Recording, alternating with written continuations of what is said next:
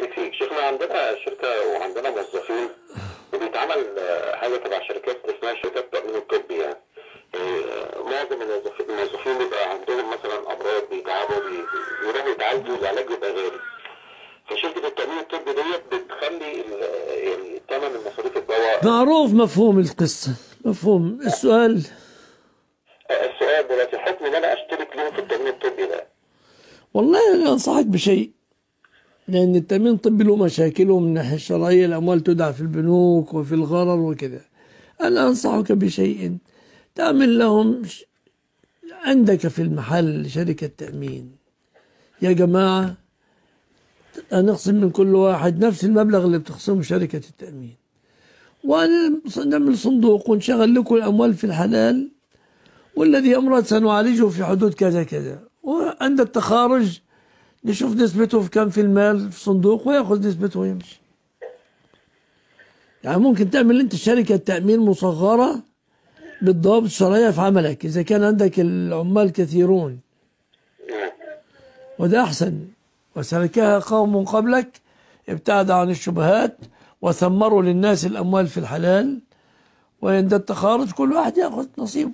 إذا لم يكن إذا كان شيء أعتقد ان هو لما إحنا الشركة هي اللي بتشترك لهم الشركة هي اللي بتدفع الفلوس أنا شركتكم أنتم. آه إحنا اللي يعني إحنا اللي هندفع للموظف هو ما بيدفعش. ما أنا عارف إنك تدفع الموظف وهو ما بيدفعش. عارف إنك تدفع الموظف وهو ما بيدفعش. لكن هي الإشكالية إن الأموال اللي بتاخدها منك شركة التأمين تاخذها تودعها في البنك وتسري عليها أحكام شركات التأمين العالمية. شركات التأمين العالمية رغما عن رغما عن أنفك وأنفهم بما فيها من الغرر و وغرر أنت مجبر ولا مختار؟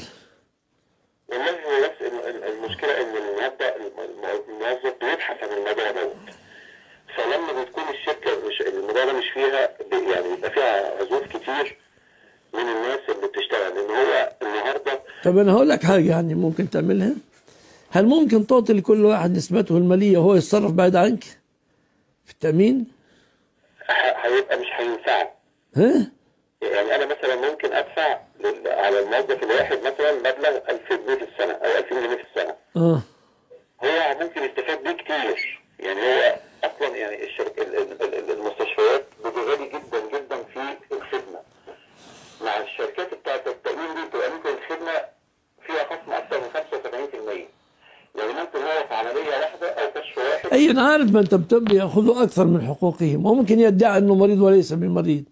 بس أنا بتكلم عن حل المعاملة أمام الله. لا أبني على مثلا آه، المبالغ المتحققة قليلة أو كثيرة أو الفائدة المتحققة للأفراد فقط.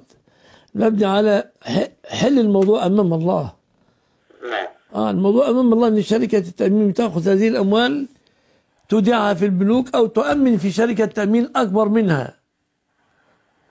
والمريض الشخص المؤمن عليه قد يأخذ مبلغ أقل وقد يأخذ مبلغ أكثر من الذي دفعه.